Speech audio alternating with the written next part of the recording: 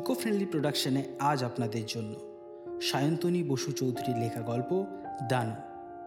গল্পটি আমরা নিয়েছি সুইট বুকস আইরাইট থেকে প্রকাশিত সর্বনেশের সাত নামের একটি ইবুক থেকে। দানু ছাড়াও বইটিতে পেয়ে যাবেন আরও ছয় ছয়টি অলৌকিক গল্প। ডেসক্রিপশন বক্সে দেওয়া লিঙ্কের মাধ্যমে এই বুকটি সংগ্রহ করে নিতে পারেন।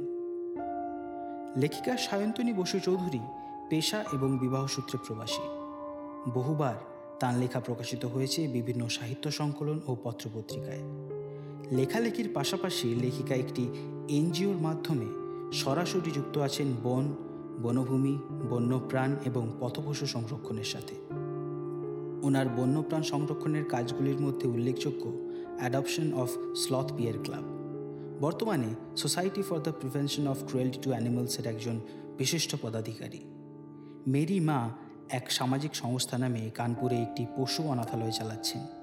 বর্তমানে দুস্থ মেয়েদের নিজের পায়ে দাঁড় করানোর জন্য শেখাচ্ছেন হ্যান্ডক্রাফটের বিভিন্ন কাজ। We need more people like Sayantani Basu Chowdhury in our society Eco-friendly production is really proud to present a literary work of such a dynamic personality. আচ্ছা মনে আছে? যখন আমরা ছোট ছিলাম, তখন সমস্ত ভাই বোনেরা মিলে ঠাকুমা ঠাকুরদার সামনে গিয়ে বসতাম গল্প শোনার লোভে। চায়ে চুমুক বা মুখে পান দিয়ে তারা তাদের ঝুলি থেকে বের করে আনতেন রাজা মহারাজা দৈত্যী দানুর বিভিন্ন স্বাদের ভৌতিক অলৌকিক গল্প। আর আমরা হাঁ করে হারিয়ে যেতাম সেই গল্পের জগতে। If you can relate to this your childhood was awesome আমাদের আজকের এই গল্প আপনাদের সেই চাপা পড়ে যাওয়া স্মৃতিতে একটু সুরসুরি দেবে। বৃষ্টির এক রাতে পায়রা মামা হাবলু আর টুবলুকে নিয়ে বসেছেন ভয়ঙ্কর এক পারিবারিক রহস্যের গল্প শোনাতে। কি সেই রহস্য? জানতে হলে শুনতে থাকুন সায়ন্তনী বসু চৌধুরীর লেখা গল্প দানু। এই রকম আরও গল্প শুনতে সাবস্ক্রাইব করুন আমাদের ইউটিউব চ্যানেল। হ্যাপি লিসনিং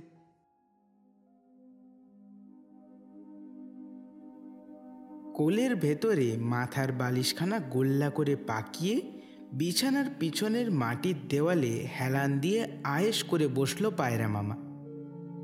পদ্ম কাটা স্টিলের বাটিতে ঘরে ভাজা বাদাম আর টকঝাল চানাচুর সহযোগে মুড়ি মেখে দিয়েছে দিম্মা।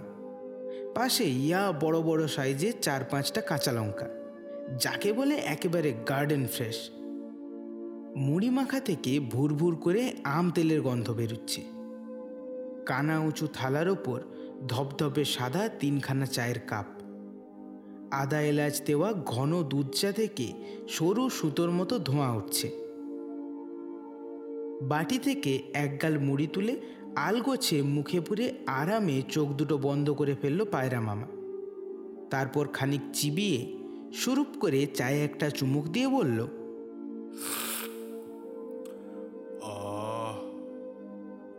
হাবুল আর আমি হাঁ করে মামার মুখের দিকে চেয়ে বসেছিলাম।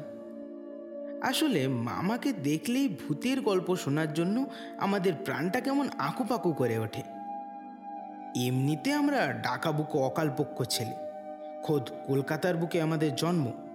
ভূত টুত তেমন মানি না। তাছাড়া ক্লাস টেনে ওঠার পর থেকে নিজেদের কেমন একটা প্রাপ্তবয়স্ক বলে মনে হচ্ছে। স্মার্টফোন আর ইন্টারনেট ইউজ করি ক্লাস সেভেন থেকে। সেই সুবাদে আমাদের একেবারে অজানা বলে এ পৃথিবীতে আর কিচ্ছুটি নেই। কার্যকারণ দেখিয়ে তর্ক টর্ক দুভাইয়ে বেশ ভালোই করি। কিন্তু সত্যি বলতে কি, পায়রা মামার গল্পগুলো শুনলে রাত বিরেতে ইয়ে মানে ছোট বাইরে যেতে হলে ভয়ে হৃৎপিণ্ডটা এখনও কেঁপে কেঁপে ওঠে। রোমাঞ্চে সারা শরীরের রোম খাড়া হয়ে ওঠে সজারুর কাঁটার মতো। ভূত প্রেত ঠিক না মামাবাড়ির নির্জন গ্রাম্য পরিবেশে রাতের ঘন অন্ধকারে নিরবিচ্ছিন্ন নিস্তব্ধতায় ওই ভয়ে ভয়ে ভাবটাকেই আমরা দুই ভাই বড্ড উপভোগ করি। আমাদের মামাবাড়িতে এখনও যৌথ পরিবার। প্রতিবেলায় ছটা ছটা বারোটা পাত পড়ে। উৎসব অনুষ্ঠানের দিনে সেটাই হয়ে যায় দশ দশ কুড়িটা। প্যারিচাঁদ দত্ত, আমার মায়ের খুঁড়তো ভাই। মজা করে আমরা পায়রা মামা বলে ডাকি। পায়রা মামা থাকে দিল্লিতে। খোদ রাষ্ট্রপতি ভবনের একটা উঁচু পদে চাকরি করে। বছরে একবার কি দুবার দিন দশকের লম্বা ছুটি নিয়ে বেনিপুরে গ্রামের বাড়িতে আসে মামা। ব্যাচেলার মানুষ, দেশের বাড়ি, পরিবারের জীবিত কটা লোক আর বৃদ্ধা মা ছাড়া মামার তেমন কোনো পিছুটান নেই। তা এবার প্রায় বছরখানেক পর মামা বাড়িতে এসেই হঠাৎ পায়রা মামার সঙ্গে দেখা। কলকাতায় কি একটা দরকার আছে বলে মামা দেশের বাড়িতে এসেছেন। শ্রাবণ মাস, ভরা বর্ষা। সন্ধ্যের আগে থেকেই একটানা ঝমঝম করে বৃষ্টি হয়ে চলেছে। বিরাম বিশ্রামের নামটুকু নেই। উঠোনটা জল ভরে গিয়ে এখন একটা ছোটোখাটো ডোবা। নালা কেটেও জল বাগে আনা যাচ্ছে না। আমরা রয়েছি মাটির ঘরে। উল্টো দিকে পাকা দোতলা। দিম্মা, মেজদিদি আর কাজের মেয়ে গৌরী মাসি সেখানে রান্নার তোড়জোড় করছে। ছোট দাদু পাকা দালানের কোণে বসে এক মনে চা খাচ্ছে। রেডিওতে কিছু একটা বাজছিল, যদিও বৃষ্টির শব্দে সে ঢাকা পড়ে গেছে। ভিজে বাতাসে ভর করে রান্নাঘর থেকে ভেসে আসছে ভাজা ইলিশের লোভনীয় গন্ধ। রাতের মেনু বোধহয় খিচুড়ি আর ইলিশ মাছ ভাজা।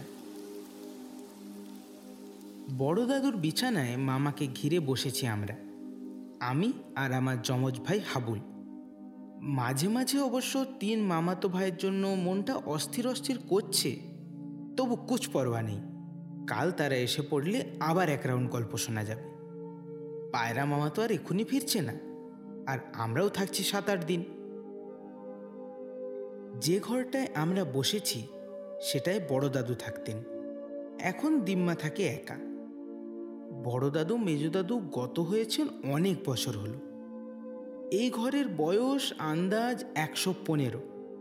উলুটি করা মসৃণ দেওয়াল। অনেকটা আজকের যুগের প্যারিস ওয়ালের মতো। জানালা দরজায় খুব সুন্দর কারুকার্য। বড়রা বলেন দুটো না তিনটে কাঁসার বাটি ঘষে দেওয়ালগুলোকে মাখনের মতো মসৃণ করা হয়েছে। সেই বাটিগুলো ধাতু ক্ষয়ে নাকি একেবারে পাতলা হয়ে গিয়েছিল। এখানে এলে দিম্মার সঙ্গে আমরা এ ঘরেই ঘুমোই। দুর্দান্ত গরমের দিনেও দারুণ ঠান্ডা থাকে ঘরটা। ভারী আরাম হয়। বিছানার পাশের জানালাটা অর্ধেক ভেজানো। মাঝে মাঝে ঠান্ডা হাওয়া, দামাল হরিণ ছানার মতো ঘরের ভেতরে ঢুকে এদিক ওদিক ছোটাছুটি করছে। জানালার পাল্লাগুলো খটখট শব্দে একবার খুলছে, আবার বন্ধ হয়ে যাচ্ছে। বিকেল থেকে লোডশেডিং। এসব গ্রামের দিকে দু ফোঁটা বৃষ্টি পড়লেই কারেন্ট বাবাজি গোটা রাতের মতো হাওয়া হয়ে যান। কখনো কখনো আবার দু তিন দিন পাত্তা পাওয়া যায় না। বড় হ্যারিকেনটা রয়েছে ঘরের মাঝখানে কাঠের টেবিলের ওপর। হাওয়ার তালে তার হলদে আলোটা নেচে নেচে উঠছে। আমাদের দুই ভাইয়ের দিকে ভালো করে তাকিয়ে পায়রা মামা ভুরু কুচকে জানতে চাইল আমাদের আরও একটা ভাই ছিল। তোরা নিশ্চয়ই তার কথা শুনিসনি কি তাই তো? না তো। আমরা তো ছোটবেলা থেকে তোমাদের তিনজনকে দেখে আসছি। শ্যামা মামা তুমি আর বিপুল মামা। মানে ছোটকার ছেলে আমাদের সবচেয়ে ছোট ভাই। বেচারা এক মাসও বাঁচেনি। চায়ের কাপটা ডান হাতে তুলে দুটো চুমুক দিয়ে উদাস চোখে পায়রা মামা দূরের দেওয়ালের দিকে তাকালো। ছাইরোমা মাটির দেওয়ালের গায়ে আমাদের বড় বড় পাঁকাচোরা ছায়া। ডাইনে বায়ে নড়ছে সেগুলো। মানুষের অবয়ব ভেঙে অনেকটা অতিমানবের মতো বিকট ও কদাকার। ছায়া শরীরগুলো খেয়াল বসে আপন করে নিয়েছে পিঠের ওপর কুঁজ, মাথার মাঝে অদ্ভুত স্ফীত, দুজোড়া বিকট প্রত্যঙ্গ। যেন কোনো দক্ষ অঙ্গ প্রতিস্থাপক মানুষের ছায়ার সঙ্গে অতিরিক্ত অঙ্গের ছায়া জুড়ে জুড়ে তৈরি করেছে নতুন প্রজাতির অদ্ভুত দর্শন কোনো অতিআঙ্গিক ছায়াজীব। হঠাৎ দমকা ঝোড়ো হাওয়ার ধাক্কায় বাগানের সুপুরি গাছগুলোর ভিজে পাতা একসঙ্গে খসখস শব্দ করে উঠল। মনে হলো ঘরের পিছনে বাগানের মধ্যে কারা যেন ফিসফিসিয়ে উঠল হঠাৎ।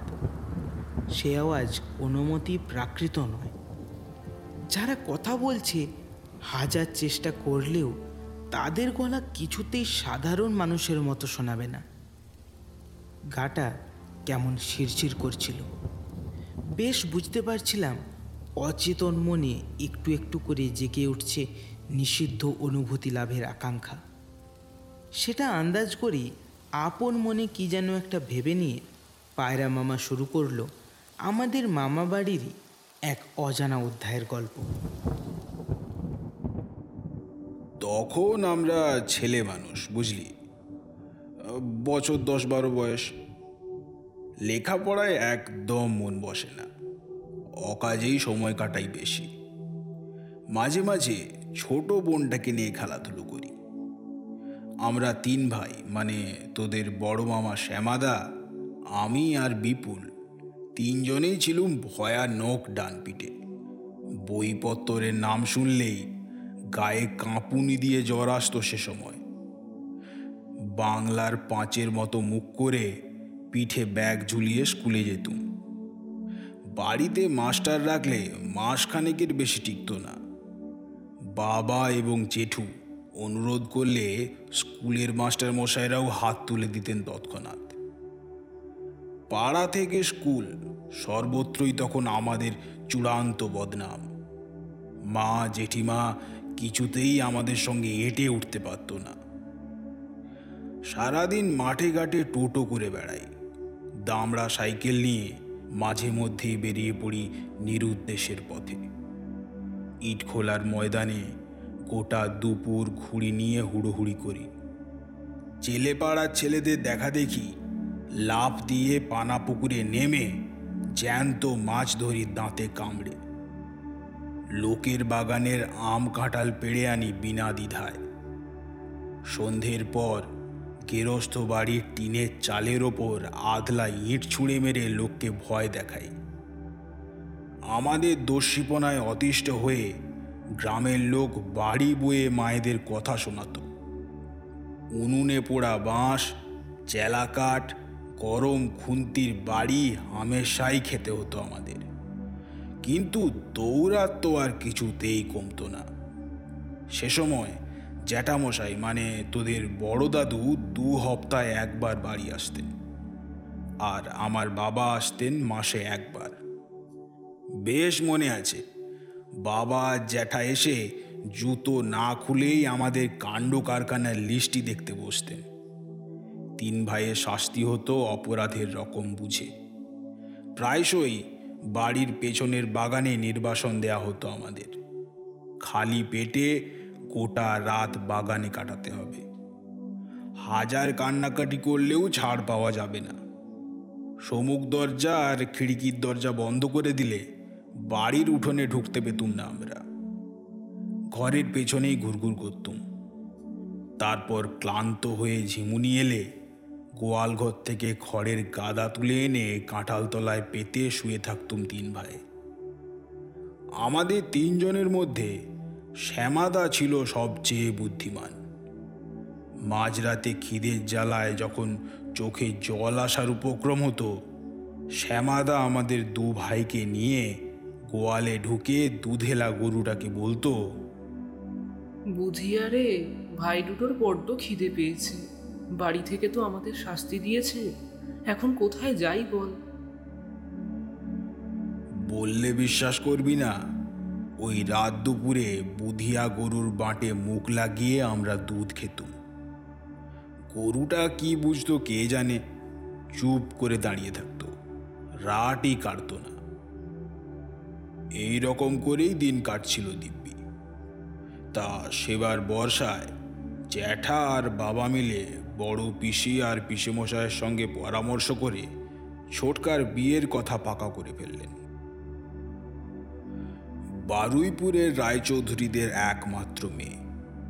রায়চৌধুরীদের তখন বিরাট নাম ডাক এক সময়কার জমিদার বলে কথা, পাকা কথা হতে না হতেই নতুন কাকিমার বাড়ি থেকে হাঁড়ি বোঝাই মালপোয়া, জল ভরা সন্দেশ, নিমকি, রাবড়ি সব এসে গেল।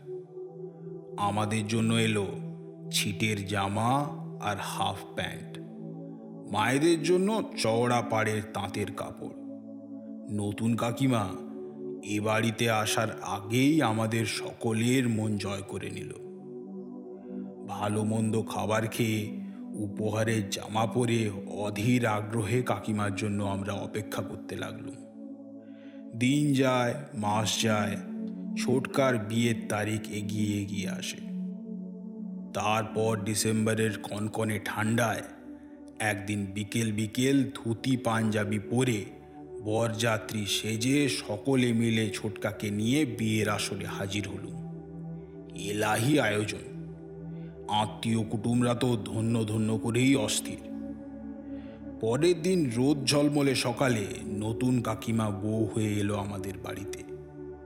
ফর্সা টুকটুকে মিষ্টি দেখতে সেই নতুন কাকিমা। ছমছম করে পায়ের নুপুর বাজিয়ে সারা বাড়ি ঘুরে বেড়াতো। মিষ্টি গলায় প্রতিদিন সকালে গান গাইতো। তারপর মায়েদের সঙ্গে রান্নাঘরে গিয়ে টুকটাক কাজকর্মও শিখত। আমাদের সঙ্গে ভারী ভাব জমেছিল, জানিস? গরমের দুপুরে কচি কাঁচাদের নিয়ে দল পাকিয়ে বাগানে গিয়ে কাকিমা পেয়ারা, কালো জাম, নুন লঙ্কা দিয়ে আম মেখে খেত। কতই বা বয়স ছিল তার, এই সতেরো আঠেরো হবে। ছোটকা তখন সবে কলেজ শেষ করেছে। কলকাতার মেশে থাকতো। ছুটি ছাটা ছাড়া বাড়ি আসতে পারতো না। তবে ছোটকা গ্রামে এলে আমরা সবাই মিলে একসঙ্গে সানের ঘাটে মাছ ধরতে যেত সারাদিন গোটা গ্রামটা চষে বেড়াতো। কি যে মজা হতো। নতুন কাকিমা লেখাপড়াও জানতো। স্কুলের কাজে মাঝে মাঝে আমাদের অল্প বিস্তর সাহায্যও করত। বাউন্ডুলেপনা কমিয়ে সন্ধ্যের দিকে তখন খাতা বই নিয়ে তার ঘরে পড়তে বসতুম আমরা। সময় বয়ে চলল ঘড়ির কাটার মতো। দুটো বছর নতুন কাকিমার সাথে কীভাবে যে হই হই করে কাটিয়ে দিলাম, কে জানে? জেঠিমা একদিন আমাদের তিন ভাইকে ডেকে বলল, আই, সারা দুপুর কিসের এত দাপাদাপি লাফালাফি চলে রে তোদের? হুম? পাড়ার লোকে যে ছি ছি করে, মন্দ বলে সে খেয়াল আছে? আর এই নতুন বউটাও হয়েছে তেমনি। ধিঙ্গি মেয়ে? অথচ লজ্জা ঘেন্না বলে কিচ্ছু নেই গো। হ্যাঁ? এই যে, কান খুলে শুনে নে। নতুন বউকে এখন থেকে আর একদম বিরক্ত করবি না, বুঝলি? তার শরীর ঠিক ভালো নেই। আমরা তো যাকে বলে একদম আকাশ থেকে পড়লুম। শরীর ভালো নেই মানে? বলে কি জেঠিমা? কাকিমা তো দিব্যি হেঁটে চলে বেড়াচ্ছে। খাচ্ছে, দাচ্ছে, গান গাইছে, গল্পের বই পড়ছে, সেলাই করছে। এ তো গতকালও হারাধনের বরফ কল থেকে ঠান্ডা কুলপিয়া নিয়ে খেলো। তবে তবে কিসের শরীর খারাপ? বাড়ির কাউকে যে জিজ্ঞাসা করব, সে আর সাহসে কুলোলো না। তিন ভাই মিলে আলোচনা করেও কিছুই কুল কিনারা পেলাম না। ওদিকে নতুন কাকিমাকে সেই দিন থেকেই এক প্রকার ঘরবন্দি করে দেওয়া হলো। ঘন্টায় ঘন্টায় মা, জেঠিমা, কমলাদি পালা করে তার জন্য খাবার, দাবার, ফল, দুধ ইত্যাদি নিয়ে যায়। কিন্তু কাকিমা আর ঘর থেকে বেরোয় না। কারও সঙ্গে মেলামেশাও করে না। আমরাও কাকিমার ঘরে যেতে পারি না। একদিন আমাদের বাড়িতে ধান ঝাড়া মাসি এসে বেনেপাড়ার পোড়া মাতলার এক খাবলা মাটি আর দুটো মাদুলি দিয়ে গেল। সেই সঙ্গে জেঠিমাকে বলে গেল, নতুন বউকে এখন চোখে চোখে রেখো গো কর্তামা। এই তো তার প্রথমবার রাত বিরেতে বেরুলে মেয়েটা যেন চুলে একখান গিট পাইকে নেয়। তোমাদের বাড়িটা বাপু খারাপ জমির ধারে, চারিদিকে বড় বড় গাছপালা। কোথায় যে কার বাস, কে জানে? চোখের সামনে নিত্যদিন এমন কিছু ঘটনা ঘটছিল, যেগুলোর কোনো ব্যাখ্যা খুঁজে পাচ্ছিলাম না আমরা। প্রথম প্রথম কৌতূহল ছিল অসীম। তারপর ধীরে ধীরে সমস্ত আগ্রহ থিতিয়ে এক সময়ে মনের মধ্যে চাপা পড়ে গেল। ছেলে ছোকরার মন তো কখন যে কিসে মজে, কে জানে? তবে পুকুর ধারের গাছ থেকে আঁশফল ফলসা এসব পারলে বা মৃত্তিরদের নিচুতলার বাগান থেকে কাঁচা আমড়া, পাকা তেঁতুল জোগাড় করতে পারলেই বাগানের দিক থেকে চুপি চুপি কাকিমার ঘরের জানালা দিয়ে আমরা দিয়ে আসতাম। খেয়াল করতাম, বেচারির চোখের তলায় কেমন ঘন কালি পড়ে গেছে। অত সুন্দর মানুষটা শুকিয়ে কেমন যেন দড়ির মতো হয়ে গিয়েছে। কোটরে ঢোকা ক্লান্ত চোখ দেখলে মনে হতো চোখ দুটির জায়গায় আসলে ফাঁকা ফাঁকা দুখানা গর্ত। আবছা উদাস দৃষ্টি।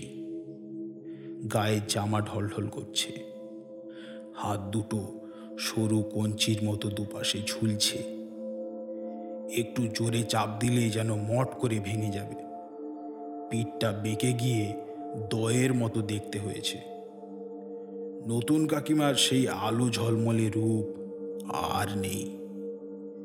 কপালটা এতখানি চওড়া, গালের হাড় দুটো ঠেলে উঠেছে ওপরের দিকে। রুগ্ন হাড়সার হয়ে কেমন যেন কমজোরি হয়ে গিয়েছে আমাদের নতুন কাকিমা। বিপুল ফিসফিস করে আমাদের কানে বলতো, জানিস ভাই, জেলেদের ছেলেরা বলে পাঁচি ডাইনিতে নজর দিলে নাকি এমন হয়? দেখিস কাকিমা সব রক্ত চুষে নেবে ডাইনিটা। মেরে ফেলবে রে। আমাদের নতুন কাকিমাটাকে বোধহয় মেরেই ফেলবে। আমি ভয়ে ভয়ে কাকিমার ঘরের সিলিংয়ের দিকে তাকাতাম। কেউ ওথ পেতে নেই তো সেখানে। এখনই সকলকে চমকে দিয়ে হুঙ্কার ছেড়ে লাফিয়ে পড়ে কাকিমার ঘাড়টা যদি মটকে দেয়, ছেলে মানুষই মন আর কি, বুঝতেই পারছিস। মাঝে মধ্যে আবার নতুন কাকিমার পায়ের পাতা দুটো দেখে নেওয়ার একটা সুপ্ত ইচ্ছে উঁকি মারত মনে। বলা তো যায় না, কোন দিন হয়তো জানতে পারলাম আমাদের কাকিমা আসলে মানুষই নয়। ঠাকুমার মুখে তো আর কম গল্প শুনিনি। বিয়ের পরে পরে এ গ্রামের নগেন কাকার বউকে নাকি পেত নিতে ধরেছিল। ইচ্ছে মতো পায়ের পাতা উল্টো দিকে ঘুরিয়ে ফেলতে পারত সে। হাঁটু পর্যন্ত লম্বা চুল খুলে রাত বিরেতে ঘর ছেড়ে বেরিয়ে পড়তো কচি কাজা ছেলে মেয়েদের কাঁচা রক্ত খাবে বলে। কে নাকি একবার তাকে পাড়ার মোড়ের কদম গাছের ডালে পা ঝুলিয়ে বসে থাকতেও দেখেছিল। অনেক ছোটবেলায় শোনা গল্পগুলো মনে পড়তে আমাদের মনের মধ্যে নানা তোলপাড় চললেও কাকিমা বেচারি কিন্তু তার তিন কিশোর বন্ধুকে দেখে খুব আনন্দই পেত। ক্ষীণ গলায় বলতো কবে যে আবার তোদের সঙ্গে খেলতে যেতে পারব? আবার যে কবে গাছে চড়তে পারব? কি রে তোরা আমায় খেলতে নেবি তো আবার? আচ্ছা তবে যে মায়ের কাছে শুনেছি ছোট দাদু বিয়েই করেনি? ছোট দিদাকে তো আমরা কোনোদিন দেখিনি। তিনি এখন কোথায় পায়রা মামা? সাগ্রহে জানতে চাইলাম। মামা নিজের ডান হাতটা উঁচু করে আমাকে থামিয়ে দিল। দাঁড়া দাঁড়া। আগে পুরোটা শোন নিজেই বুঝতে পারবি। তারপর পায়রা মামা আবার বলতে শুরু করল। এইভাবে চলতে চলতেই ছ সাত মাস কেটে গেল। তখন সবেমাত্র ভাদ্র পড়েছে। সাত আট দিন ধরে একটানা বৃষ্টি হচ্ছে। আর সেই সঙ্গে পাল্লা দিয়ে চলছে লোডশেডিং আর পচা ভাদুরে গরম। আকাশ থেকে জল পড়া থামতে না থামতেই গুমোট গরমটা ছুটে এসে আবার জাপটে ধরে। দম বন্ধ হয়ে আসে। আমাদের তো মনে হতো সকলের অলক্ষ্যে কেউ যেন গ্রামটাকে একবার ভেজাচ্ছে আর একবার পোড়াচ্ছে। স্কুলে তখন পরীক্ষা চলছিল। দোতলায় ঘরবন্দি হয়ে শ্যামদা আর বিপুলকে নিয়ে জোর কদমে পড়াশোনা চালাচ্ছি। শ্যামাদা আমাদের এক ক্লাস উঁচুতে পড়ে। তার একটু বেশিই চাপ। তবে পড়াশোনার ফাঁকে বড়দের কথাবার্তা শুনলেই কান খাড়া করে বাইরের পরিস্থিতিও বুঝে নেওয়ার চেষ্টা করতাম আমরা। নতুন কাকিমার অবস্থা যে খুব একটা ভালো নয়, মায়েদের কথা শুনে সেটা দিব্যি বুঝতে পারতাম। ওরই মধ্যে একদিন বেলাবেলি পরীক্ষা দিয়ে বাড়িতে ফিরে দেখি, বাবা আর জেঠু বাড়ি এসেছে। সঙ্গে ব্রিফকেস হাতে একজন শহুরে মহিলা ডাক্তার। তিনি বারবার ঘড়ি দেখছেন আর খুব ধীরে ধীরে গম্ভীর মুখে কী সব যেন বলছেন। বুঝতে আর বাকি রইল না যে বড়দের মধ্যে খুব জরুরি আলোচনা চলছে। ওদিকে উঠোনের কোণে কাঠের জালে গরম গামলায় জল গরম করছিল কমলাদি। আমাদের দেখেই জেঠিমা তাড়াতাড়ি ছুটে এলো। এই যে শ্যামা বিপুল, এসে পড়েছিস তোরা? যা তো বাবারা, দোতলা ঘরে গিয়ে পড়তে বসকে যা যা। সামনে অঙ্ক পরীক্ষা না? একদম সময় নষ্ট করিস না। কমলা দেখে দিয়ে এক্ষুনি তোদের জল খাবার পাঠিয়ে দিচ্ছি। আর হ্যাঁ আমি না ডাকা পর্যন্ত কিন্তু নিচের তলা একদম আসবি না। মনে থাকে যেন কথাটা। ভারী অবাক হলাম। বাবা, জ্যাঠা, কেউ একবার জানতেও চাইলেন না যে আমাদের পরীক্ষা কেমন হয়েছে। জামা কাপড় ছেড়ে যা হোক করে কলতলায় হাত মুখ ধুয়ে বইপত্র সঙ্গে নিয়ে দোতলায় উঠে গেলাম। গরম গরম লুচি আর বেগুন ভাজা পৌঁছে দিয়ে গেল কমলাদি। খাবারটা সবেমাত্র মুখে তুলেছি, বুঝলি? নতুন কাকিমার প্রবল চিৎকারে আর কান্নায় আমাদের সারা বাড়িটা থর থর করে কাঁপতে লাগল। সে কি ভয়ানক আর্তনাদ, কি বলব তোদের? সে কি কান্না? কেউ যেন ধারালো ছুরি দিয়ে কাকিমার হাত পা সব কেটে নিচ্ছে। গায়ের কাঁচা মাংস যেন খুবলে খাচ্ছে। সে বিকট চেঁচানি এখনও আমার কানে বাজে রে। খাবার যেমনকে তেমন থালায় পড়ে রইল। পড়াশুনোয় কি তখন আর মন বসে? আমাদের তিনজনেরই আসলে খুব ভয় করছিল, জানিস? ওরকম কিছু আগে তো শুনিনি কোনো দিন বারবার মনে হচ্ছিল, কাকিমা বুঝি আর বাঁচবে না। বিপুল প্রায় কেঁদেই ফেলেছিল। আসলে নতুন কাকিমাকে জানিস, কাকিমা কম, বন্ধু বেশি মনে করতাম। সন্ধ্যের মুখে হঠাৎই কান্নার আওয়াজ থেমে গেল।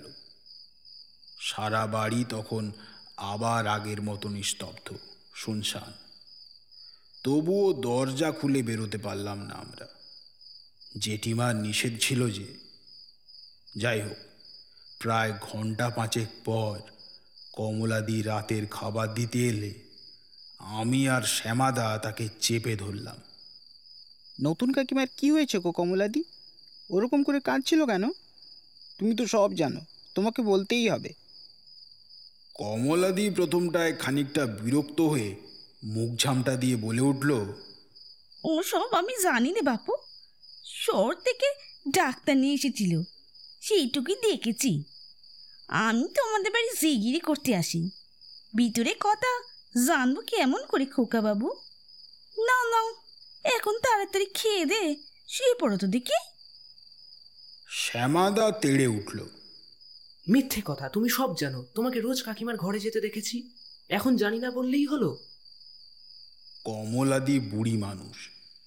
আমরা তিনজনে মিলে বুড়িকে চেপে ধরে পেড়াপেড়ি শুরু করলাম। ও কমলাদি বলো না, কমলাদি। কমলাদি বলো না। বলো না কমলাদি কাউকে বলব না আমরা। শেষটায় কমলাদি কেঁদেই ফেলল। ভীষণ ভয় পেয়ে তোতলাতে তোতলাতে বলল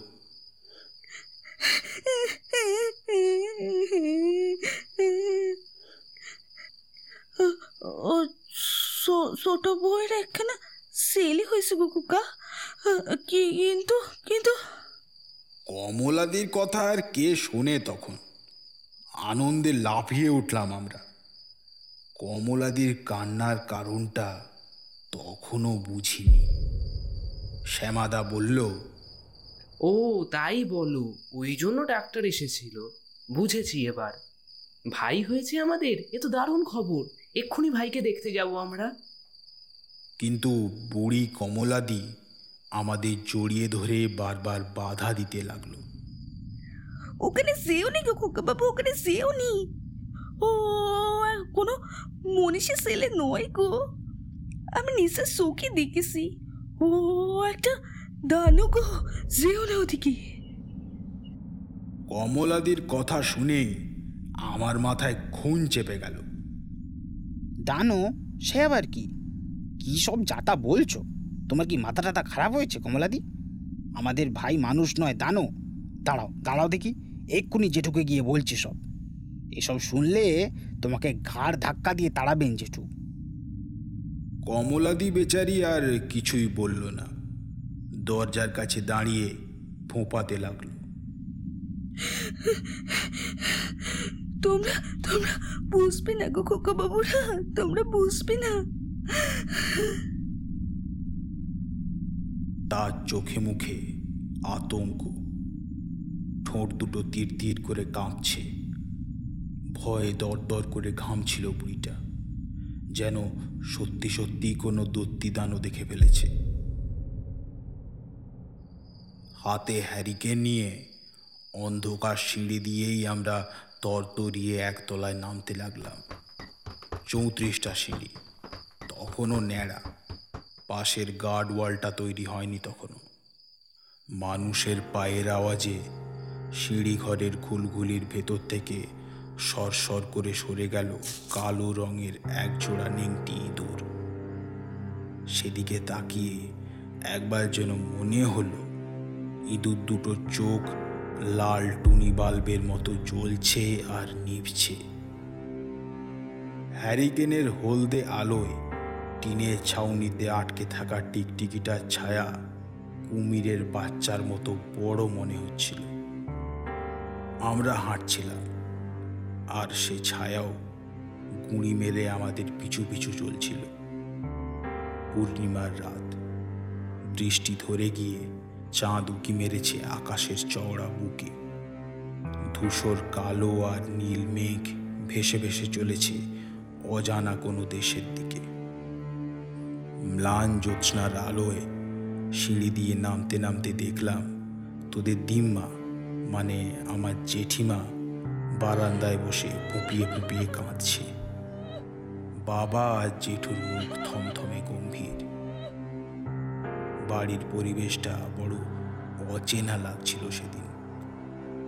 সেই সময় চারদিকের নৈশব্দ ভেঙে হঠাৎ নতুন কাকিমার ঘরের থেকে একটা অপার্থিব শব্দ ভেসে অনেকটা অনেকটা প্রলম্বিত সুরে গোঙানির মতো, বুঝলি? আমাদের তো গায়ে কাঁটা দিয়ে উঠল। সে কি বিকৃত আওয়াজ? নিশুতি রাতে বাঁশ বনের ভেতর থেকে শেয়ালের বাচ্চা কেঁদে উঠলে অনেকটা এরকম শোনায়। আমার শির দাঁড়াবে, একটা ঠান্ডা স্রোত নেমে গেল। ওই আওয়াজটা কোনো শিশুর কান্না, নাকি জন্তুর চিৎকার, সেটা বুঝতে না পেরে হতভম্ব হয়ে মাঝ সিঁড়িতে দাঁড়িয়ে পড়লাম আমি আর বিপুল। বিপুল আমার হাতটা টেনে ধরল। শ্যামাদা আমাদের মধ্যে বড় আর সাহসীও পায়ে পায়ে এগিয়ে জেঠিমার পিঠে হাত রেখে সে বলল ও মা মা ভাইকে আমরা দেখব না মা? জেঠিমার চোখ রক্তবর্ণ। শ্যামাদার কথায় প্রচণ্ড রেগে গিয়ে বলল তোদের বলা হলো না যে নিচে আসবি না? বড়রা যখন নিষেধ করেছে, নিশ্চয়ই তার কোনো কারণ আছে? আর শ্যাম, তোকেও তো বলি হারি হ্যাঁ? তুই তো ওদের বড় দাদা নাকি রে? তোর এতটুকু বুদ্ধি থাকা উচিত? যা, শিগগিরই ভাইদের নিয়ে ওপরে চলে যা। আর এক মুহূর্ত এখানে দাঁড়াবি না। যা বলছি, যা। আমরা দ্রুত পায়ে উল্টো মুখে সিঁড়ি বেয়ে দোতলায় উঠতে লাগলাম। আর আমাদের পিছনে সেই পৈশাচিক কান্নার বেগ ক্রমাগত বেড়েই চলল। অনুভব করলাম, একটু একটু করে গোটা বাড়িটা একটা অন্ধকার বলয়ের মধ্যে ঢুকে পড়ছে। বুঝলাম, ভয়ানক কোনো অঘটন ঘটতে চলেছে। নরক থেকে উঠে আসা একটা মিসকালো ছায়া বিরাট হাঁ করে আমাদের গোটা বাড়িটাকে গ্রাস করে নিচ্ছে খুব ধীরে ধীরে। তাড়াতাড়ি আবার দোতলার ঘরে ঢুকে পড়লাম। শ্যামাদা দড়াম করে দরজায় খিল তুলে দিল। মন পড়ে রইল ওই দিকে কমলাদির কথাগুলো বারবার মাথার ভেতর ঘুরপাক খাচ্ছিল। সেরাতে আর কিচ্ছু পড়াশোনা হলো না। খুব খিদে পেয়েছিল। কিন্তু ভয়ে, উৎকণ্ঠায় কিছু খেতেও পারলাম না কেউ। পরের দিন ছুটি ছিল। ঘুম ভাঙল বেশ বেলায়। ভয়ে ভয়ে নিচের তলায় নেমে দেখি সব কিছু আবার আগের মতোই স্বাভাবিক। জেঠিমা রান্নাঘরে কমলাদি নিচু হয়ে উঠোন ঝাঁট দিচ্ছে আর মাঝে মাঝেই কোমরে ব্যথায়, ওরে বাবারে, মরে গেলুম রে, ইত্যাদি ডাক ছাড়ছে। সবাই যে যার কাজে ব্যস্ত, কিন্তু কারও মুখে হাসি নেই। বাড়িতে একটা শিশু জন্মালে যে আনন্দের পরিবেশ থাকে, নতুন কাকিমার ছেলে হতে আমাদের বাড়ির অবস্থা হয়েছিল ঠিক তার উল্টো। সকলের জলখাবার খাইয়ে দাইয়ে আমাদের আবার দোতলায় পাঠিয়ে দেওয়া হলো। সেদিন বাবা আর জেঠু পালা করে আমাদের পাহারা দিতে লাগলেন কখনো ছাদে পায়চারি করেন তো কখনো ঘরে ঢুকিয়ে মাদুরে বসে অঙ্ক খাতা দেখে আমাদের অঙ্ক কষতে দেন। তবে সব কিছুই যে আমাদের ওপর বাড়তি নজর রাখার জন্য করা হচ্ছিল সেটা বুঝতে খুব একটা অসুবিধে হয়নি। ঠিক তিন দিন পরে শনিবার ভর দুপুরে কালীকেষ্টদা আমাদের বাড়িতে এসে হাজির। সদর দরজা দিয়ে ঢুকেই বলল হরে কৃষ্ণ হরে কৃষ্ণ। কই গো? বাড়ির সব লোকজন গেলে কোথায়? মায়েরা কই? মুখ দেখাও। আমার মা যে আমায় আদেশ করে তোমাদের বাড়ি পাঠিয়ে দিলেন গো। কালীকেষ্টদা লোকটাকে দেখতে অতি সাধারণ হলে কি হবে? লোকে বলতো, সে নাকি অনেক কিছু জানে। তন্ত্র মন্ত্র সবই নাকি তার নখের আগায়। মা জেঠিমারাও খুব সম্মান করতো তাকে। গলায় কাপড় দিয়ে পা ছুঁয়ে প্রণাম করত। কালীকেষ্টদা বোধহয় সেদিন নতুন কাকিমার ছেলেকে দেখতে এসেছিল। আমরা তো নিচে যেতে পারলাম না। ছাদ থেকে উঁকি মেরে ব্যাপারটা দেখতে লাগলাম। ভগবানের নাম নিয়ে কাকিমার ঘরে ঢুকে মিনিট দুয়েকের মাথায় ভয়ানক ভয় পেয়ে ছিটকে বেরিয়ে এলো কালীকেষ্টদা। উঠোনের একেবারে মধ্যিখানে দাঁড়িয়ে থরথর করে কাঁপতে লাগল সে। কৃষ্ণ কৃষ্ণ হরে হরে হরে রাম হরে রাম রাম রাম হরে হরে হরে কৃষ্ণ হরে কৃষ্ণ তার সারা মুখে লাল সিঁদুর লেপটে রয়েছে। মাথা চুল এলোমেলো। কোমর পর্যন্ত লম্বা জটাগুলো বড় বড় সাপের মতো দুলছে। চোখ দুটো ঠিকরে বেরিয়ে আসতে চাইছে। জোরে জোরে মাথা দোলাতে দোলাতে ইষ্ট দেবতার নাম জপতে জপতে সে বলল, হরে কৃষ্ণ হরে কৃষ্ণ কৃষ্ণ কৃষ্ণ, হরে হরে হরে রাম হরে রাম রাম রাম, হরে হরে। এ কি এ কি, এ আমায় কাকে দেখতে পাঠালি মা? এ যে এ যে সাক্ষাৎ শয়তান। এ তো নরক থেকে উঠে এসেছে। কি অঘটন কি অঘটন? হরে কৃষ্ণ হরে কৃষ্ণ কৃষ্ণ কৃষ্ণ হরে হরে হরে রাম হরে রাম রাম রাম হরে হরে। জেঠিমা মাথায় ঘোমটা দিয়ে তার পায়ের ওপর হুমড়ি খেয়ে পড়ল তখনই জেঠু তার দুই হাত জড়িয়ে ধরে জিজ্ঞাসা করল তবে উপায় কি কালীকেষ্ট কিছু একটা করো। কালীকেষ্টদা হুঙ্কার ছেড়ে চেঁচিয়ে উঠল। উপায়? উপায় আর কিছুই নয় গো। এ বাচ্চার তেষ্টা দুধে মিটবে না। মায়ের বুকের কাঁচা রক্ত ছাড়া একে তোমরা কিসে সন্তুষ্ট করবে? তোমাদের ঘরে পিসাজ এসেছে গো পিসাজ। নাও ধ্বংসের জন্য তৈরি হও এবার। তারপর জেঠিমার দিকে তাকিয়ে একটুখানি নরম হয়ে শান্ত গলায় বলল, ওঠো মা ঠাকরুন, ওঠো। মনটা কঠিন করো। কেঁদে আর কি লাভ বলো? এ তো তোমাদের বংশেরই পাপের ফল। আহা, বেচারি নতুন বউ। তাকে রক্ষা কর রে জগজ্জননী। তোকে তোর এই ছেলের মাথার দিব্যি। কালীকেষ্টদার কথা শুনে আমরা খুব ভয় পেয়ে গেলাম।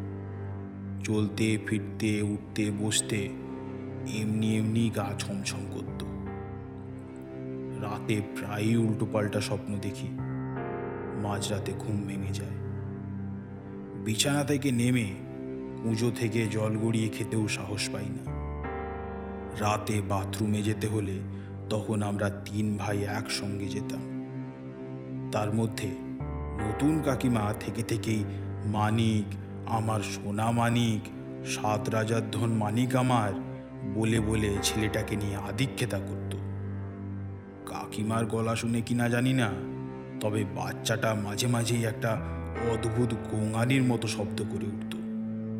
আরও ভয় পেয়ে যেতাম আমরা। গা শিরশির করে উঠত। আমি শ্যামাদাকে জিজ্ঞেস করতাম হ্যাঁ রে দাদা নতুন কাকিমার ছেলেটা কি সত্যিই মানুষ নয়? মানিক কি সত্যি পিসাজ, নাকি দানব? দাদা চুপ করে থাকতো। মনে মনে ভাবতাম, মানিকটা বড় হলে না জানি কেমন হবে। সে যদি সত্যি সত্যি সব্বার রক্ত চুষে খায়। আমাদের ভয় কাটানোর জন্য কাউকে কিচ্ছু না বলেই শ্যামদা একদিন অদ্ভুত একটা কাণ্ড করে বসল, জানিস? একদিন সন্ধেবেলায় চুপি চুপি বাইরের ঘরের দাওয়ায় উঠে দাঁড়াল। কিন্তু ফিরে এসে যা বলল তাতে মনটা আরও খারাপ হয়ে গেল। ঘরে বন্দি থেকে থেকে নতুন কাকিমার মাথাটাই বোধহয় খারাপ হয়ে গেছে রে। আমায় দেখেই কেমন অদ্ভুতভাবে ছুটে এলো জানিস? তারপর জানলার গড়ার ধরে হাসতে হাসতে বলল কেন এসেছিস সেখানে পালিয়ে যা। শিগগির পালিয়ে যা। নাহলে আমার ছেলে তোকে কামড়ে খেয়ে নেবে। যা যা যা পালিয়ে যা। ও শুধু রক্ত খায় জানিস? ওই কথা শুনে আমাদের ভয় আরও বিশ গুণ বেড়ে গিয়েছিল। বাড়িতে যে কি ঘটছিল তার বিন্দু বিসর্গ কিছুই বুঝতে পারছিলাম না। তার ওপর আর এক অদ্ভুত সমস্যা শুরু হলো সে সময়। কালীকেষ্টদা আমাদের বাড়িতে আসার কদিন পর থেকে গ্রামের লোকজন কম বয়সী ছেলেপুলেরা আমাদের দেখতে পেলেই ডেকে ডেকে মানিকের কথা জিজ্ঞাসা করতো। পায়রা, এদিকে শোন। তোরা ছেলেটাকে দেখেছিস? শুনলুম নাকি তার একখানা চোখ কপালে আর একটা নাকি মাংসের ডালার মতো। নাক বলে কিছু নেই, মুখ ভর্তি সরু সরু দাঁত, পেটের কাছ থেকে নাকি দুখানা পা বেরিয়ে এসেছে। মাগো, ভাবতেই কেমন লাগছে। আরে ওকে দেখে তোদের ভয় করে না? অনেকে আবার আমাদের এড়িয়েও যেত। ভয় আতঙ্ক কৌতূহল সব মিলিয়ে আমাদের প্রাণ তখন ওষ্ঠাগত। এতক্ষণ আমরা চুপ করে শুনছিলাম। গল্পের মাঝে কথা বলা পায়রা মামার না পাশান তাই আমরা একটা কথাও বলিনি কোনো প্রশ্নও করিনি। এবার আর থাকতে না পেরে জিজ্ঞাসা করলাম আচ্ছা পায়রা মামা, তুমি যেমন বলছো, তাতে মনে হচ্ছে মানিক কোনো গঠনগত ত্রুটি নিয়ে জন্মেছিল। ইন্টারনেট ঘাঁটলে এমন একাধিক বাচ্চার ছবি দেখা যায়, সেটা জানো কি? কনজয়েন্ট টুইন, ডিফর্ম বেবি, এসব তো আজকের দিনে জল ভাত। একটা শরীর, দুটো মাথা, একটা মাথা, একাধিক হাত পা। আবার চোখ, নাক, মুখ ইত্যাদি সুগঠিত নয়। এক কথায় অদ্ভুত দর্শন। গায়ের চামড়া খসখসে সরীসৃপের মতো। শুনেছ নিশ্চয়ই? বিজ্ঞানের অগ্রগতির সঙ্গে সঙ্গে এসব বহু কেস কিন্তু সামনে আসছে। যদিও অজ্ঞ লোকজন এগুলোকে ঈশ্বর কিংবা শয়তান ভেবে বসে থাকে। ইউটিউব ঘাঁটলে কুসংস্কারাচ্ছন্ন আচারেরও নানান ভিডিও দেখা যায়। এই তো সেবার এখানে এসে মাঘের মেলায় আমরা গঙ্গা যমুনাকে দেখতে গিয়েছিলাম। তার ব্যাপারটা তো এরকমই। একই শরীরে দুটো মেয়ের মাথা। বুকের পর থেকে শরীরের নিচের অংশটা জোড়া। দুজনেই হাসছে, দুজনেই কথা বলছে, দুজোড়া হাতে ভর দিয়ে চলাফেরা করছে। ওসব দেখে লোকের একটু অন্যরকম ভাবনা আসতেই পারে। অনেকে ওদের স্পাইডার সিস্টার্স বলে চেনে। আর খেয়াল করেছিলাম ওদের পেটের কাছ থেকে ঝুলছিল একটা ছোট পা। অপেক্ষাকৃত সরু আর বাঁকা। আসলে ওরা আইডেন্টিক্যাল টুইন্স ভ্রূণ অবস্থায় শরীর দুটো আলাদা হয়নি। আর রইল বাকি জন্মের সময় দাঁত থাকার ব্যাপারটা, ওটাও আমার জানা। ন্যাটাল টিথ বলে। দু হাজারটি শিশুর মধ্যে একজনের এটা হওয়ার সম্ভাবনা থাকে। প্রতিটা কেসই খুব রেয়ার তাই সাধারণ মানুষ অবাক হয়। তারপর হাবুলের সাথে মুখ চাওয়াচাই করলাম। বুঝলাম সেও আমার কথায় সায় দিয়েছে। কথাগুলো শুনে পায়রা মামা দীর্ঘ নিঃশ্বাস ছাড়ল।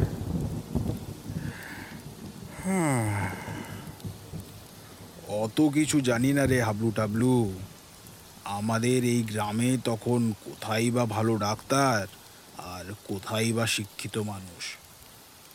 বছর আঠাশ আগে না ছিল মানুষের যুক্তি দিয়ে মেনে নেওয়ার ক্ষমতা আর না ছিল তোদের আজকের এই ইন্টারনেট শারীরিক ত্রুটি মানেই তখন অপদেবতা, ভূত পিশাচের জন্ম, অভিশাপ, মায়ের কর্মফল কিংবা বাপের গ্রহদোষ। তবে একটা ব্যাপার জানিস তো, কখনো কখনো এমন কিছু ঘটে যায়, বিজ্ঞানও যা সঠিক ব্যাখ্যা দিতে পারে না। আমরা যেটা নিজের চোখে দেখেছিলাম, সেটাই বা ভুলি কি করে বলতো? বিজ্ঞানে তো তার কোনো ব্যাখ্যা নেই। কি? কি দেখেছিলে তোমরা? উত্তেজনায় গলা চড়িয়ে আমরা দু ভাই একসাথে প্রশ্ন করলাম। পায়রা মামা আবার বলতে শুরু করল। পরীক্ষা তখন শেষ হয়েছে। আমাদের তিন ভাইয়ের মাথায় সব সময় ঘুরঘুর করছে কি করে নতুন কাকিমার ঘরে ঢুকে সত্যিটা জানা যায়। সারাটা দিন তককে তককে থাকি, কিন্তু বড়দের দৃষ্টি এড়িয়ে ঠিক সুবিধে করতে পারি না। তার মধ্যেই বাড়িতে একটা অস্বাভাবিক মৃত্যু হয়ে গিয়েছে। দিন চারেক আগে আমাদের বুধিয়া গাইয়ের বাছুরটাকে গলায় দুটো বড় ফুটো সমেত উদ্ধার করেছে দুধ দোয়ানোর ছেলে কানু। বাদাম গাছের নিচে মরে পড়েছিল বাছুরটা। তার সমস্ত রক্ত চুষে খেয়ে ছিবড়ে করে ফেলে গিয়েছিল কোনো দাঁতালো জন্তু। ওদিকে ছোটকা মানিককে দেখতে পর্যন্ত আসেনি। সেই নিয়ে নতুন কাকিমা খাওয়া দাওয়া সব বন্ধ করে দিয়েছে। সারাদিন খালি কাঁদে। এই গ্রাম থেকেই কানাঘুষো খবর পৌঁছেছিল ছোটকার কানে। পরে বুঝেছিলাম বোধহয় অসম্মানের ভয়ে অথবা দুঃখেই কাকা বাড়ি আসেনি। কাকিমার বাপের বাড়ির লোকজন নাতি দেখতে এসে ভয় পেয়ে সেই যে গিয়েছে, আর একটাও খবর নেয়নি। বাড়িতে তীব্র অশান্তি চলছিল তখন। কিন্তু আমাদের অবস্থা ছিল অদ্ভুত। বাড়ির লোকজন, জ্ঞাতিগোষ্ঠী, সবাই মানিককে চোখের দেখাটুকু দেখলেও কেবল আমরাই তাকে একটিবারের জন্যেও দেখিনি। আসলে ওই কৌতূহল আমরা চাপতে পারছিলাম না। সত্যি ঘটনা একবার চাক্ষুষ করার জন্য মুখিয়েছিলাম। অবশেষে একদিন রাতে অপ্রত্যাশিতভাবেই সুযোগ এসে গেল। অফিসের কাজে বাবাকে কলকাতা ফিরতে হয়েছে। জেঠু বাড়িতেই রয়েছেন, তবে তার পনেরো দিনের ছুটি প্রায় ফুরিয়ে এসেছে। একদিন শ্যামদা বলল, দেখ ভাই, এখন তো আর বৃষ্টি বাদলা নেই। বাড়ির সবাই ঘুমিয়ে পড়লে আজ রাতেই কাকিমার ঘরে যাব। কাকিমা নিশ্চয়ই কাউকে বলবে না? শ্যামাদার কথায় আমি ভয় পেয়ে বললাম সেটা কি ঠিক হবে দাদা? যদি ধরা পড়ে যাই? ভয় কি রে? ধরা পড়ে গেলে মার খাব। দরকার হলে বাগানে রাত কাটাবো। কিন্তু সত্যিটা একবার দেখে তবে ছাড়বো। মানিককে নিয়ে লোকে কত কথা বলে বলতো? ও আমাদের ভাই। একবার বিষয়টা দেখব না? মনে হলো শ্যামাদা ঠিকই বলছে। বাইরের লোকজন আমাদের দেখতে পেলেই নানা কথা জিজ্ঞেস করে। আড়ালে আবডালে হাসি তামাশাও চলে আমাদের বাড়ি নিয়ে। ছোটকা আর কাকিমাকে নিয়ে নানা জনে নানা কুকথা রটিয়ে বেড়ায়। এমনকি এমনকি মানিকের জন্মের পর নতুন কাকিমাকে অনেকে পিসাচিও বলেছে। বড়দের কানেও নিশ্চয়ই ওসব কথা এসেছিল। কিন্তু তারা চুপ করে রয়েছেন বলে আমরাও যে থেমে থাকব, তার তো কোনো মানে নেই। শ্যামাদার প্রস্তাবে রাজি হয়ে গেলাম। রাত তখন দুটো কি আড়াইটে হবে? তিন ভাই পা টিপে টিপে খুব সাবধানে একতলায় নেমে এলাম। অমাবস্যা, উঠোনের মধ্যিখানে আমরা তিনজনে দাঁড়িয়ে, চারদিকে ঘুটঘুটে অন্ধকার। পাতাবাহারের গাছগুলোকে দেখে মনে হচ্ছিল কারা যেন গায়ে চাদর মুড়ি দিয়ে বসে আছে। বাঁশঝাড়ের দিক থেকে কর্কশ স্বরে একটা হুতুম পেঁচা ডেকে উঠল। আমরা তো গ্রামের ছেলে সবে যথেষ্ট অভ্যস্ত ছিল তবুও কেন জানি না ভয় করছিল সেদিন। কি যেন একটা খড়খড় করে উঠে তাড়াতাড়ি করে পালালো। ভাম বা বিড়াল কিছু একটা ছিল হয়তো। রাত্রিবেলা ইঁদুর ধরার জন্য ওগুলো খড়ের চালের ভেতরে এসে লুকিয়ে থাকতো। বাগানের দিক থেকে একটা তক্ষ সাপের আবছা ডাক ভেসে এলো। গাছপালাগুলো একেবারে স্থির। ভয়ানক ঝড় আসার আগের নিস্তব্ধতা ছেয়ে রয়েছে আমাদের বাড়িতে।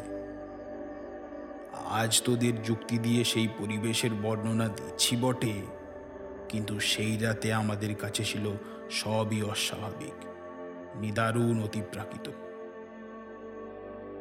সঙ্গে দুই ব্যাটারির টর্চটা রয়েছে, কিন্তু জ্বালাচ্ছি না। পাছে ধরা পড়ে যাই। তিনজন গায়ে গায়ে ঘেঁষে ঘেঁষে চলছি। উঠোন পেরিয়ে ধীর পায়ে বাইরের ঘরের দিকে এগিয়ে গেলাম। বাইরের ঘরটা আঁতুর ঘর বারান্দার ধারে কিছু মাটির হাঁড়িকুড়ি আর গাছ থেকে পাড়া ডাব রাখা। সেগুলোকে ডিঙিয়ে এগিয়ে গেলাম জানালার কাছে। বারান্দার দিকে জানালাটা সামান্য ফাঁক করা। ঘরের ভেতর থেকে হলুদ রঙের কাপা কাপা আলোর আভা আসছে। আমাদের হাত পা তখন বরফের মতো ঠান্ডা। উত্তেজনায় বুক ধড়াস ধড়াস করছে। গলার কাছে কি যেন একটা এঁটুলি পাকিয়ে রয়েছে। ঢোক গিললেও নামছে না। বাথরুম পাচ্ছে না, তবুও তলপেটে কেমন একটা যেন চাপ অনুভব করছিলাম। সেদিন সত্যি সত্যি খুব ভয় করছিল, জানিস? ফিসফিস করে শ্যামাদাকে বললাম, এই দাদা, কাকিমাকে কি ডাকবি? নাকি এই জানালা দিয়েই? হাজার কৌতূহল থাক, অজানাকে জানার আগ্রহ থাক, আসলে তো তিনজনেই ছোট ছিলাম। আমার কথায় শ্যামদা রাজি হয়ে গেল। অতি সন্তর্পণে জানালার কাছে গিয়ে একটা পাল্লা ধরে ধীরে ধীরে ডিঙি পেড়ে বুড়ো আঙুলে ভর দিয়ে দাঁড়ালাম। কিন্তু কিন্তু ও কি? কি বলব তোদের? ভেতরের দৃশ্যটা দেখেই আমাদের বুকে রক্ত হিম হয়ে গেল। সাঁই সাঁই করে মাথাটা চক্কর খেলো তিন চারবার। কেন? কি- ছিল ঘরের ভেতরে?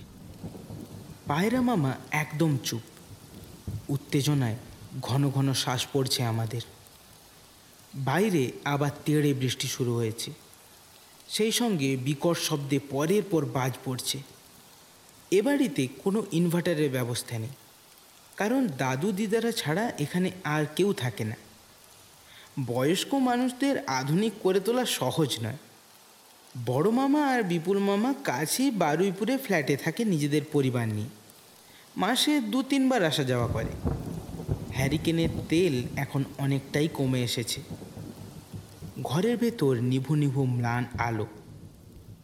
পায়রা মামা গলাটা খাদে নামিয়ে বলল, জানালা দিয়ে উঁকি মেরে দেখলাম? নতুন কাকিমা ঘুমে অচেতন। তার রোগা ভোগা কাঠসার শরীরটা বিছানার সঙ্গে প্রায় মিশে গিয়েছে। একেবারেই চেনা যাচ্ছে না তাকে।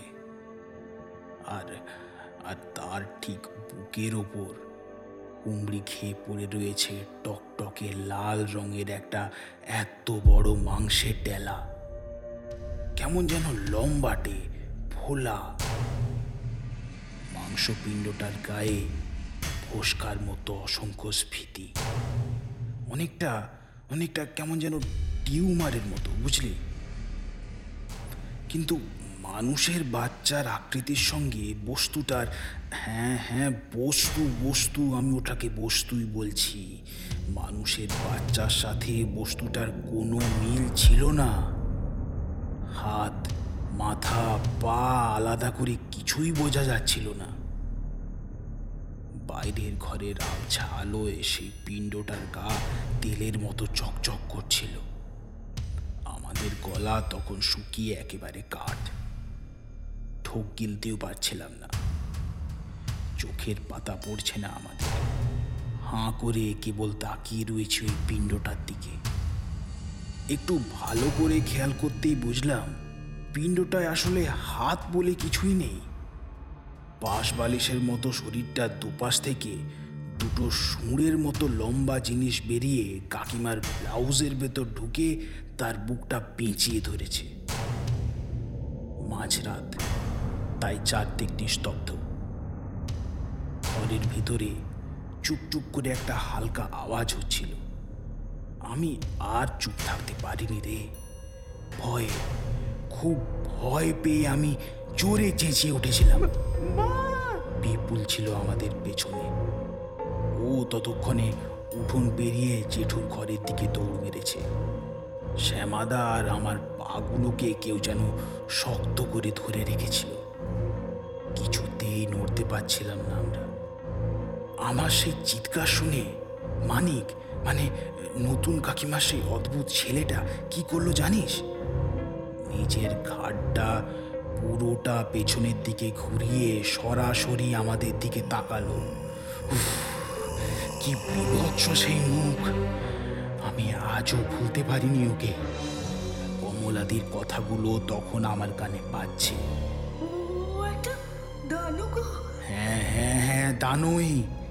ওটা একটা দানই বটে। কপালের ওপর এত বড় একটা চোখ টকটকে লাল। আর নাক, মুখ, গাল, কপাল সবই অদ্ভুত, একদম বিকৃত। একটা গোটা শিশুকে কেউ যেন ভারী লোহার হাতুড়ি দিয়ে থেতলে, পিষে, দোলে দোলে মাংসপিণ্ডতে পরিণত করেছে। থ্যাবড়া মাংসের ডেলার মতো ফোলা মাথাটা নিচের দিকে একটা মস্ত বড় গর্ত। তার ঠিক দুপাশ থেকে চুঁয়ে পড়ছে তাজা লাল রক্ত। মুখের ভেতর কাঁটার মতো সরু সরু অনেক দাঁত, অনেক। ভয়ে চোখ বুঝে ফেলেছিলাম আমি। আমার গা গুলিয়ে উঠে হড়হড় করে খানিকটা বমিও হয়ে গিয়েছিল। তারপর তারপর আর কিছুই মনে নেই রে। শ্যামাদা আর আমি দুজনেই জ্ঞান হারিয়ে ফেলেছিলাম বোধহয়। পায়রা মামার কথা শেষ হতে না হতেই দিম্মার ডাক কানে এলো। পায়রা মামা আমাদের তাড়া দিয়ে উঠে পড়ল। চল চল চল আর দেরি করে লাভ নেই। ভাজা ইলিশ ঠান্ডা হয়ে গেলে তো আসল মজাটাই মাটি। আমাদের ঘোর তখনও কাটেনি। মনের মধ্যে হাজারটা প্রশ্ন কিলবিল করছে। কি হলো তাদের? এখন তারা কোথায়? মামার মুখে স্মিত হাসি। কি আবার হবে? ওই ঘটনার দিন পাঁচেক পর একদিন সকালে ঘুম থেকে উঠে দেখি বাড়ির সকলের মুখ থমথমে। নিধু ডাক্তার বাইরের ঘর থেকে ত্রস্ত ব্যস্ত হয়ে বেরিয়ে যাচ্ছেন। জেঠু তার হাত দুটো চেপে ধরতে সদর দরজার কাছে থমকে দাঁড়িয়ে মাথা নাড়িয়ে ডাক্তার বলল, না, আমার আর কিছু করার নেই গো বর্দা। মা, সন্তান, দুজনেই শেষ। কান্নাকাটি শুরু করে দিল সবাই। নিধু ডাক্তার অবশ্য বলেছিল, অস্বাভাবিক রক্তাল্পতাই নাকি মা ছেলের মৃত্যুর কারণ। রক্তাল্পতা থেকেই হার্ট ফেল হয়েছিল ওদের। এই রক্তাল্পতা মানে তোরা জানিস তো? আরে অ্যানিমিয়া রে অ্যানিমিয়া ঘর থেকে বেরুতে যাব, হাবুল আমার পেটে একটা গোত্তা মারল। ওর চোখ অনুসরণ করে দেখি ছোট দাদু মাটির দাওয়ার একপাশে উবু হয়ে বসে রয়েছেন। তার উদাস দৃষ্টি ঘন অন্ধকারের আবছা হয়ে আসা বাইরের ঘরটার দিকে নিবদ্ধ। মনের ভিতরটা কেমন হু হু করে উঠল।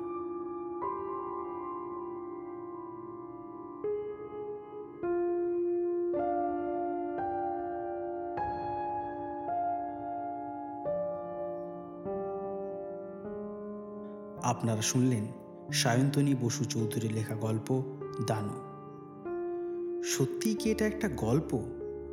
আজও কি এক্সট্রিম ফিজিক্যাল ডিফর্মিটি নিয়ে জন্মানো শিশুদের দানও বলে মেরে ফেলা হয় না? বাচ্চার মাকে ডাইনি অপবাদের শারীরিক অত্যাচার পারতপক্ষে ঘর ছাড়া করা হয় না? আচ্ছা বলুন তো, আসলে দানও কারা? আজকের গল্পে কথকের চরিত্রে সাবর্ণ পায়রা মামা চরিত্রে আমি সায়ন, অন্যান্য চরিত্রে নবনীতা, শ্রীরূপ, লাবণী ও শেফালি। Poster design Krishnendu. কেমন লাগল গল্পটি লিখে জানাতে ভুলবেন না কমেন্ট সেকশনে। খুব তাড়াতাড়ি আমরা আবার হাজির হব নতুন একটি গল্প নিয়ে। ততদিন stay eco friendly lesson to eco friendly